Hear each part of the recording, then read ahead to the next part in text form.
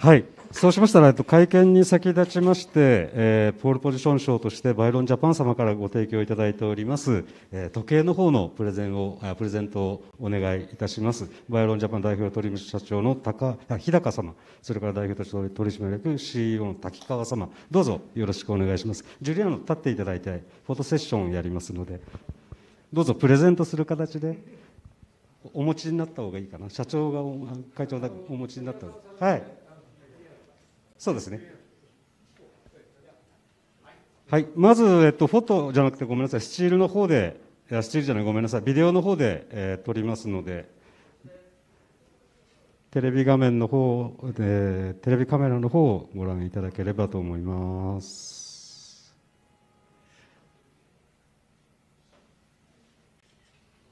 はい、でではこちらのカメラよろしくお願いします。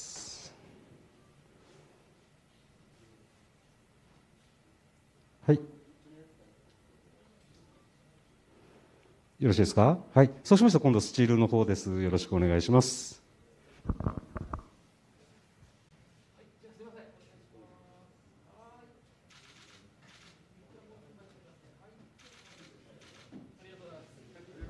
はい、ありがとうございます。おめでとうございました。ジュリア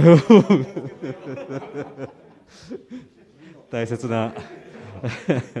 時計をジュリアン選手にプレゼントいただきましたありがとうございましたバイロンジャパンの皆さんですありがとうございました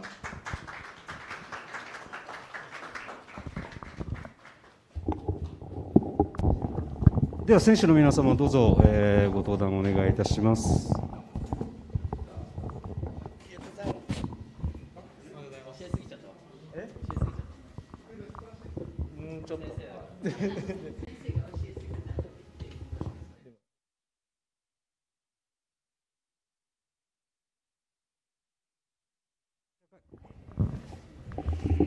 今日の記者会見はここに記者の皆様いらっしゃいませんけれどもテレビカメラの向こうにあのリモートで記者の皆様はいらっしゃいます。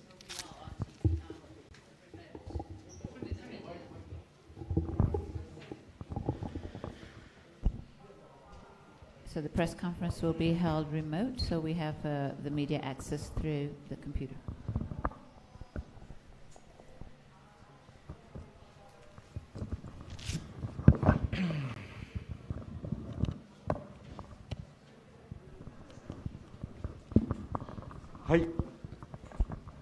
しいでしょうか？お待たせいたしました。2021年全日本スーパーフォーミュラー選手権第3戦になります。オートポリス大会の予選公式記者会見を始めさせていただきます。まずは、えー、見事ポールポジションを獲得されましたクオーバンテリンチームトムスジュリアのアレジ選手です、えー、4回赤旗が出る非常に難しい状況の中でしかもえー、今回が2戦目オートポリス初めてという環境で見事ボールポジションを取られました。今日の予選の状況と今の感想を聞かせ願いますか？まあ絶対あのあの最初だからあの雨でとこのサーキットでもあだから本当に難しかったけど、えっと、全部一緒に入れて、うん、グッドタイミングで早くいて本当に嬉しいとちょっとあのいい先生あったから嬉しい。こんなに早く予選でポールポジション取れる、まあ、F2 でも多分ポールポジションってなかったと思うんですけれども。なかった、うん、このビッグフォーミュラでこんなに早く取れるっていうふうに思っていらっしゃいました？まあ今日の朝起きた時誰かあ今日ポールポジション取るフォスーパーフォーミュラでまあちょっとまああの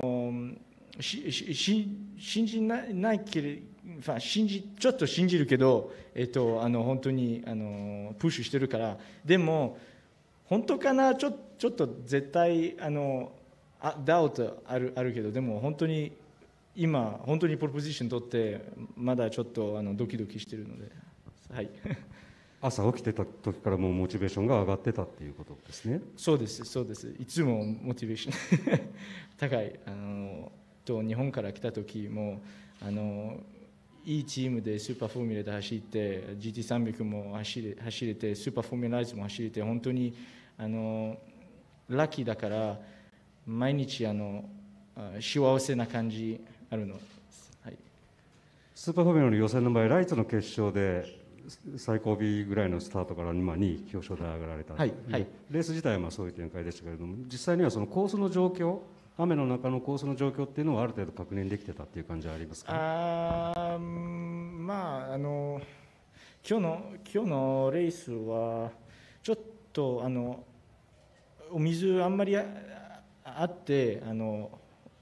出ないで遅け遅けでも出な出なければポディウムにに終わるからだから僕今日の朝あんまりリスク取ってないのででそのままスーパーフォーミュラのためちょっとあのリバーどこ一番危ないところはちょっと見てたからあのちょっとスーパーフォーミュあの SF のクオリファイ始まった時もあの大きいアイディアあったのです。その大きいアイデア何かお話しできることがあれば。あアイディアはあの危ないところはリバーある。あのリスク取らない方がいいところはあのオフ行と行く時もさよならだ。あの100ある。エグザンプルは100ある。あの僕最初知らなかった。全部。それで。だからあのサーキットで走った時もちょっとずつ習ってた。ポールポジション獲得はもうお父さんお母さんには伝えました？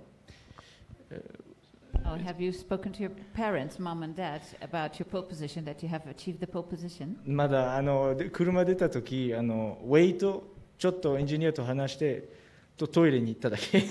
今まで。だからまだ時間なかった。でもあのプロコンファレンスの後絶対電話かかる。はいありがとうございます。おめでとうござありがいました。とうございましたえー続きまして3戦、まあ、初年度と言っていいでしょうね。第3戦で見事、えー、と2番グリッド獲得されました同じく空母バンテニチームトムスの宮田理友選手です、まあ、おめでとうございますというふうにお声掛けはしますけれども悔しい思いもあったかなと思います。今のお気持ちをお聞かせください。聞こえますか、えーまあ、ちょっと予選は、まあ、鈴鹿に続いてっていう形なんですけどあ練習走行と全く違うタイヤのグリップが出てその全くグリップしない状況から始まってしまって、まあ、車のセットアップの対策もした上で臨んでたのでそれが全然、えー結果として現れない状況から始まったのでだから、まあ、この40分の中で、えーエンジニアと、えー最低限できるところまで合わせ込んで途中でトップタイムの、まあ、残せて、まあ、結果的に2番手で僅差で終わってしまって、まあ、すごい悔しいですけど正直、えー鈴鹿から2戦連続タイヤのそういった予想外な、えー問題に直面しているっていうことがちょっと、まあ、個人的にフラストレーションがたまった予選でした。それはタイヤがどちらかというとメインで持ち込みの問題とかそういうことではない？まあ、車のセットアップも当然その練習走行から、えー足りないと思ってた部分は、えー改善する方向でセットアップを変えたんですけどただそれにしてもうんタイヤの温まり方が全然違ったのでだからまあ周りが何セットタイヤ入れたか分かんないですけど、まあ、仮に赤旗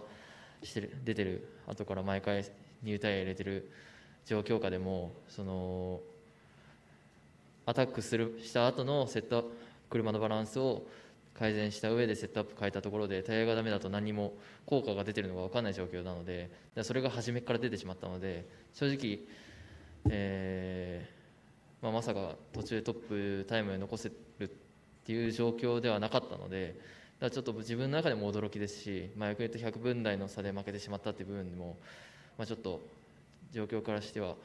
いい部分もあり、まあ、悔しい部分は多いなっていう感じです。今日一日でいうとトータルでいうとやっぱりフラストレーションがちょっと溜まってるっていう感じですか？あごめんなさいなんてフラストレーションがちょっと溜まってるっていう感じですか、まあそうですね、その当然毎、毎戦、えーポールポジション、そして決勝で優勝することを目標に掲げて戦っているので、えーまあそのれまあ、す鈴鹿もそうだったんですけど、練習走行でいいフィーリングを得て、えー予選迎えた状況の中、そうやってな何かが変わってしまう、その状況が2戦連続も続いてしまうと、ちょっと個人的にも、うんフラストレーションになりますし。うんまあ、これは僕らじゃどうしようもできないことなので、まあ、だからまあ逆に言うとフラストレーションはたまりましたけど、まあ、でもこうやって、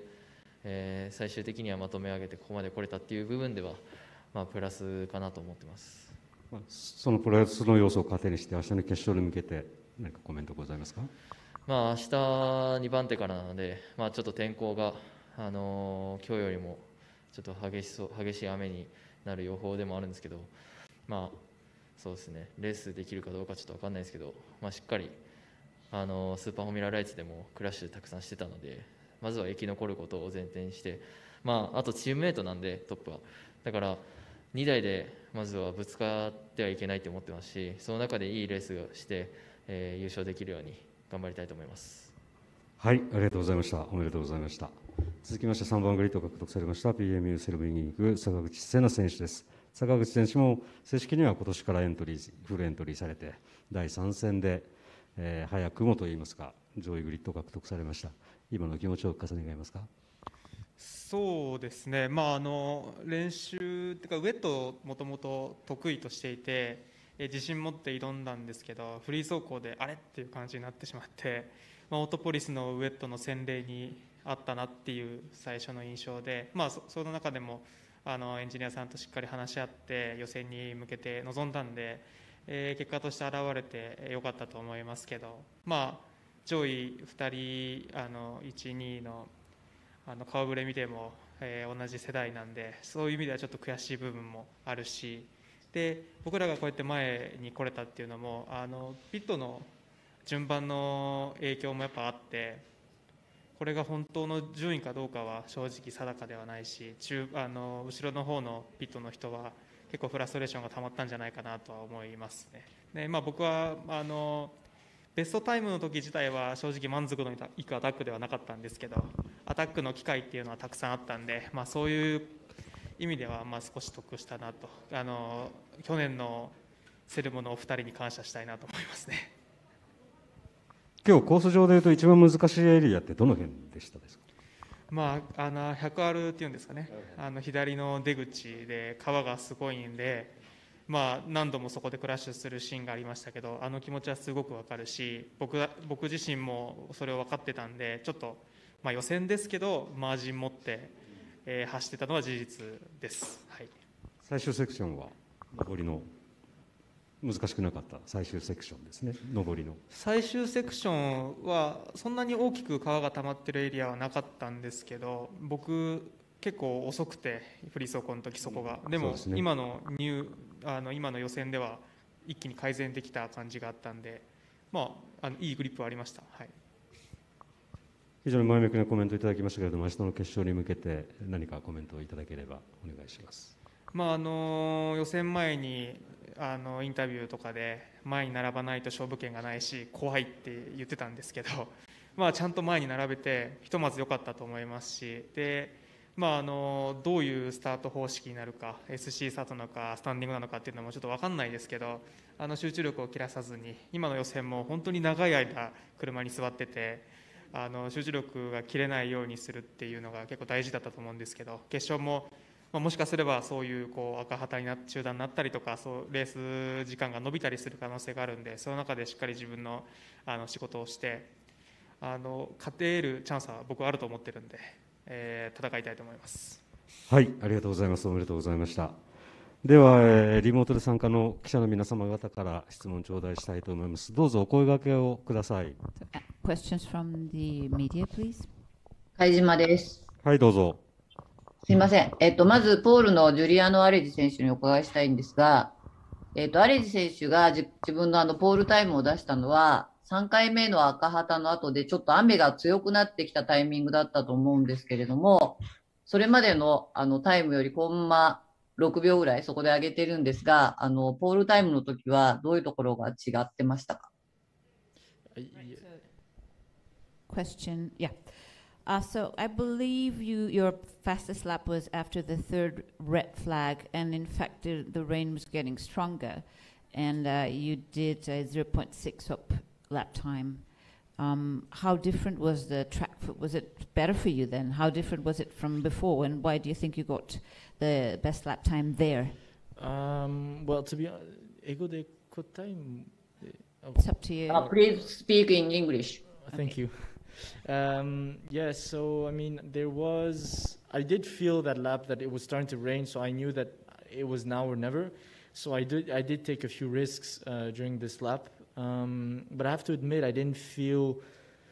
I mean, the car felt more or less uh, the same. It's just in, in the third sector, I took a little bit more risks, risks in places where I didn't uh, run before. Um, and I think that's where I made up most of my time.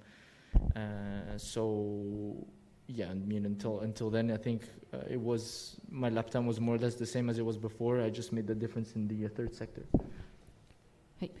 えーまあ、他のところで他のラップと比較しますとねほとんど、えーまあ、一緒のラップタイムだったんですけれどもこのラップに関してはですね、まあ、確かにあの雨が強くなりましてしかしもう今しかない。もうリスクを負っても負ってまでまあ頑張らなきゃっていうふうに思いました。なんであの、まあ、自分自身がそれまでのトラックのコンディションとはそれほどまだ変わっていないなと思っていたんですがでも同じパターンでいくと同じラップタイムしか獲得できないということで、まあ、特に、えー、と第3セクターのところで、まあ、そこをちょっと思い切りリスクを負ってですねちょっと頑張ろうと思ったんですね今まで走ってなかったラインをちょっと選んでですね、えーでそしてそこで、うん、おそらくそこがポイントとなりまして、えー秒数を、まあ、短縮することができました。ありがとうございます。で、えっと、続いて宮田選手にお伺いしたいんですが、宮田選手はその3回目の赤旗の後、そのアウトラップで他のドライバーにこう抜かれていくシーンとかあって、あまりそこではプッシュしてなかったような印象なんですけど、いかがだったでしょうか？えーまあその通りで、まあ、その要は1セット目から2セット目かけてまずタイヤのウォームアップが全然わからない状況だったんでで周りもまあ計測1周目をパスして計測2周目からアタックしている車がいるっていう情報は聞いてたので、まあ、それもあって、えーその時は、えー計測1周目をパスして、え2周目からアタック行くっていう予定で行ってて。まあ、ちょっとそのタイミングで雨も、えー降る量が増えてしまったことが、えーちょっと、まあ、読みが甘かったというかそのタイミングで運がなかったという状況になったんで、まあ、ちょっとでも1セット目でもし、えーちゃんとその計測1周目からアタックできるような状況であれば、あのそういった戸惑いもなくいけたと思いますしちょっとそこはあのまあ要はタイヤのそのグリップの出方が違ったりっていう部分で、えーそういう作戦になりました。はい、ありがとうございます。で、坂口選手なんですが、坂口選手もアレジ選手と同じで、3回目の赤旗の後に自己ベストを出していると思うんですけど、えっとやっぱりアレジ選手と同じように、そこは思い切りリスクを背負っていったんでしょうか？いやそこがそうではなくて僕の狙いとしては翌週だったんですけどこの週は、まあ、あのしっかり走らないとタイヤ熱来ないんで、えーとまあ、アウトラップ行ってその次の週アタックに入ってでちょっとやっぱセクター1と2の前半ぐらいまでは来てないタイヤが来ていない感じがあったし、まあ、セクター3は良かったんですけどっていうのがあって翌週に全てをちょっとリスクを負って飛び込もうと思ってたんでちょっとあの納得のいかないというか、まあ、納得いかないことが絶対起こりうるあのセッションだったと思いますけど僕のあのアタックはそういう感じでしたね。じゃあその翌週はもう行こうと思ったけど、雨が強くて行けなかったってことです。あれ赤旗じゃなかったでしたっけ？あ、赤旗か。違いましたっけ？なんか赤旗かもしれません。はい赤旗ですね。すいません。あのもちろん今の雨のこともあって、えー拳にこう雨粒がバチバチバチって当たってきてあこれはちょっと増えそうだなっていうのもあったんであのアウトラップ行ってそのままアタックに入ったし、まあ、翌週で出ないかもしれないっていうのもあったんで取りあのアタックに入ったんで、まあ、出すタイミングとしては間違ってはなかったですけどあのベストパフォーマンスではなかったかなという印象ですかね。はい、わかりました。でもセクター2全体ベストでした。よかったです。ありがとうございます。はい、ありがとうございます。他ございますか？はい、すいません。あの、英語でも大丈夫ですか？はいどうぞ。Hi, uh, qu- question for Giuliano. Uh, congratulations, Giuliano, first of all. Um, yeah, you touched upon it earlier that, that doing the lights race helped you get a feel for, you know, where, where the track was in good condition, where the track was in bad condition. Um, could you just go into a little bit more detail on that? And also tomorrow, uh, assuming the, the weather permits, there's a lights race tomorrow before the main race. Do you think that could potentially give you an edge if it's uh, kind of similar conditions to today? はい、えーまずは訳します、えーおめでとうございます。えー 先ほどお話をしたときにあの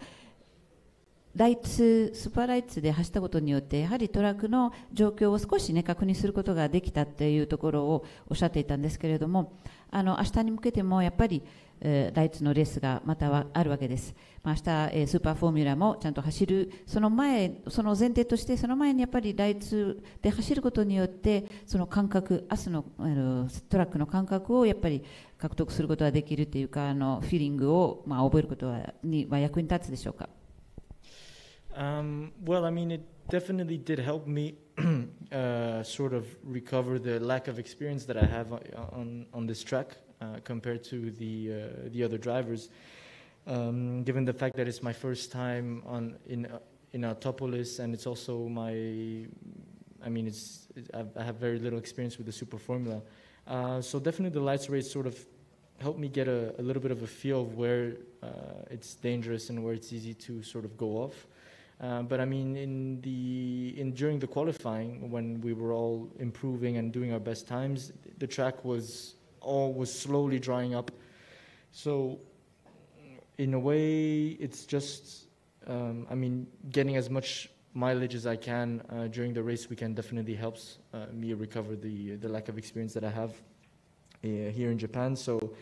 Um, I think it's it's it's helped me. Everything's been helping me uh, so far. Super Formula has been helping me with lights, and lights been helping with Super Formula as well. あそうですねあのまあ、やっぱり僕は他の選手と比較すると、おそらくあのやっぱ経験が非常に不足しておりまして、このトラックに関してはオートポリス、まあまあ、完全に初めてですし、えーそしてプラススーパーフォーミュラに関する、えー、と経験も少ないので、やはり、えー、と今回、今朝、まあ、ライツで走ることによって、トラック自体をに慣れること、そして、あまあ、危険な部分ですとか、慣れていかなきゃいけない部分の、あのまあ、あの下見というか勉強にはなりました、まあ、実際に、えー SF の予選の時間なんですがやっぱりコンディションはかなり違っていてもうかなりあのドライアップしてきていたので路面はね。だから同じ状況同じコンディションの中でというわけではなかったんですけれども、まあ、とにかくチャンスさえあれば僕はマイレージを獲得していかなきゃいけないと思うし、えーまあそれが非常に必要だと思いますので、まあ、チャンスさえあれば僕はあの頑張りたいというふうに思っています、まあ、この場合に関してはですねスーパーフォーミュラが、えースーえーライツにも、ええー影響を受けるし逆に、えーライツでけ得た経験も、えーそれがスーパーフォーミュラに影響を与えるというふうに思っておりますので、えーお互いのことを、えー、とベストのように使っております。よろしいですか？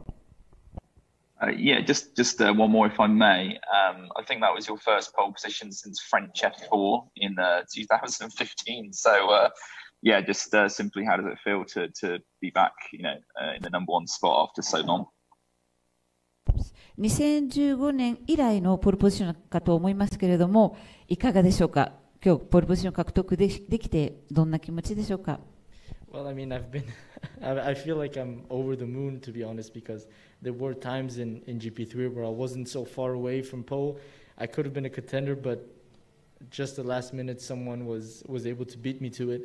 And today, I feel like I really maximized everything I had. I did the best I could. I felt I was in, in, in, in the best conditions that I've ever been to be able to perform and to be and, and the feeling to have delivered when you had everything at your disposal really feels amazing and this pole position really feels it, it really feels like it's a it's a reward for um, for the in a way the tough times I've been through uh, these past few years and the uh, the work I've been putting in on myself and, and the work that's the, that the team's been putting in uh, to del- to assemble this uh, the uh, this great car. えーそうですねあの僕は今もう気分はもう最高ですもう う eh, over the moon って言うんですけれども,、えー、ともう本当に最高に、えー思っております。そう GP3 ではね本当にもうポールポジションを獲得しそうでしそうでいつもギリギリの最後の方でやられたりしてなかなか僕はもうずっとフラストレーションをたまたまま、えーまあ、何年か走っていたわけですので、まあ、そのいろいろ得た経験を今日もそれをすべて、まあ、まとめてですねベストコンディションで走りたいという気持ちは、まあ、常にあって今日もありましてそれがもう完全にまとまったようなそんな気がしました、えーそして僕が獲得したラップが本当に全ての自分の、えー、とベストコンディションの中で最高のラップを獲得することができてそれでポールポジションを獲得することができたということは本当に嬉しく思っておりましてあの今までの、えー僕が本当に苦戦してきた部分の、えーなんかご褒美だなというふうにを今感じておりますしまたそれだけではなくもうチームが本当にそのためにベストを尽くしているのでそのベストを尽くした結果がこのポールポジショナーであると思いますので本当に感謝しておりますしもう最高だと思っております。Thank you. ありがとうございます。Thank you. 他ございますか？Any other questions? もう一ついいですか？はい。あ、すいません。ジュリアーノにこれ確認ですけど、えっ、と、雨がすごく降ってきて、あの、4回目の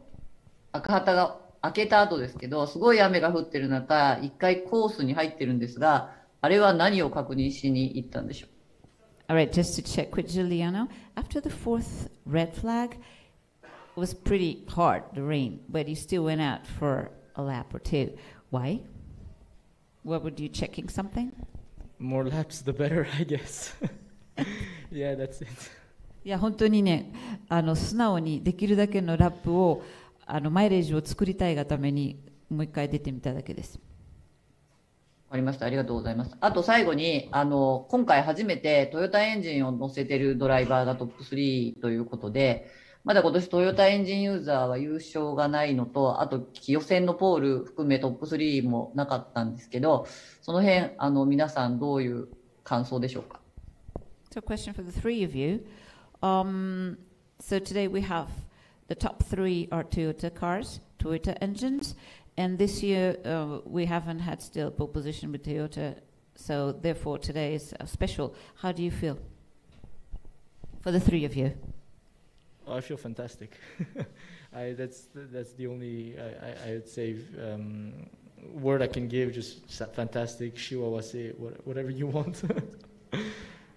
あのも So う happy. 僕はそのファンタスティックという言葉しか今思い浮かばないんですが本当に気分がもうファンタスティックもう最高です素晴らしいというふうに思っております宮田選手はいかがですか聞こえますかあえーまあどうなんですかね。実際雨そもそも雨のその走行だったんで多分一概にこれが、まあ、今までの、えー富士と鈴鹿であった結果がじゃあこのオートポリスで、えーまあ、逆転できてるかって言われるとちょっとそこは不透明なところで、まあ、特に雨なんかはその最高速とかっていうよりは本当に車のメカニカルグリップだったりあのそういった部分で優れた車が、まあ、トップになれたり、まあ、あとはその、えーピットの、えー場所が先頭であればクリアクリーンエアで常に走れるんでやっぱそういった要素がも含まれているのでちょっとそれが一概にそのトヨタエンジンが速くなってホンダより速くなっているのかっていうとそこはちょっと分からないところですしただあの僕らトヨタエンジンユーザーのドライバーとしても、えー毎回レースあの毎セッションフィードバックを、えーエンジニアさんに伝えているのでそういった部分ではあの、えー日々あの努力しているくれていると思うのでそういった部分ではこうやってあの結果としては前に入れるっていう部分ではあのすごく感謝してます。はい、ありがとうございます。高橋選手はいかがな感想、どんな感想ですか？あれ、えっと、えーっと開幕と2戦目と、まあ、涼しいえー状況では、えー過去数年振り返っても、ちょっとホンダエンジン勢が強い印象があって、まあ、ここから巻き返せる、季節に入ってきてるんじゃないかと思いますけど、まあ、今回、もしドライだったら、本当にこのトップ3だったかって言われるとちょっと分かんないし、まあ、これをまあ真に受けずにあの努力していくしかないかなと思います。はい、ありがとうございます。会見長くなりましたので、以上とさせていただきます。ご了承ください。えー第3戦の記者会見は以上とさせていただきます。どうぞあありがとうございました。おめでとうございます。会見の方は以上ですが、引き続きフォトセッションの方をさせていただきますので、選手の皆様方はしばら Right, くお待 thank ち you very。much for your attention and for your time. And now we'd like to go into the photograph session.